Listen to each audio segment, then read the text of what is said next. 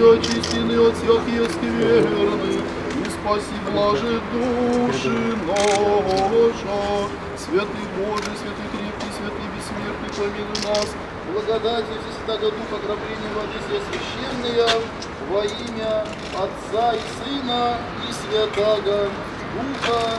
Аминь. Благословляется, освящается знамение сие благодатью Всесвятаго Духа, окропления воды все священные, во имя Отца и Сына и Святаго Духа.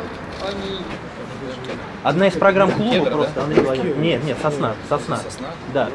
Ну что, продвинемся, да? Наша Тверская сосна. Да, да. Как губернатор я скажу, что для меня понятно, почему в Твери. У нас очень сильные традиции меценатства, у нас очень сильные традиции благотворительности. И самое главное, что сильные традиции, когда мы всем миром делаем доброе дело. И э, с семи федеральных округов, семи федеральных округов идет эта программа, и в Тверь представляет ЦФО, хотя со своей спецификой, для нас это тоже важно.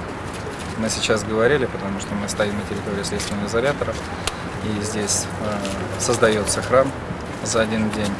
Мы очень верим в то, что наша одна из злободневных проблем, а мы понимаем, что не всегда преступность мы можем победить только правовыми моментами, а, образцовым содержанием изоляторов.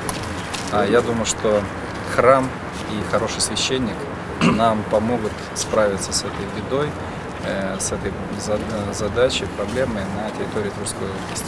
Здесь мы охватываем две как раз программы. Это семь храмов за один день. Я вам хочу сказать, что Тверь очень сильно боролась за этот проект, чтобы именно Тверь выбрали в Центральном федеральном округе. Вот нам повезло это сделать. И одна из причин была то, что это строится на территории следственного изолятора. Соответственно, хочу еще что сказать, поблагодарить э, как э, областную власть да, за очень серьезную поддержку и э, всех э, из э, офицеров из э, УФСИНа, которые просто с таким восторгом и с таким вот взялись за этот проект, и очень легко с ними работать. 90 осужденных, это хозяйственные обс- обслуги. Из них принимало участие из порядка 10.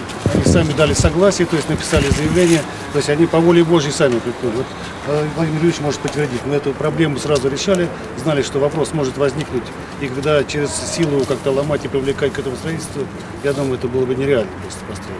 То есть они сами Участвовать в строительстве это за честь, понимаете? Она не каждому выпадает.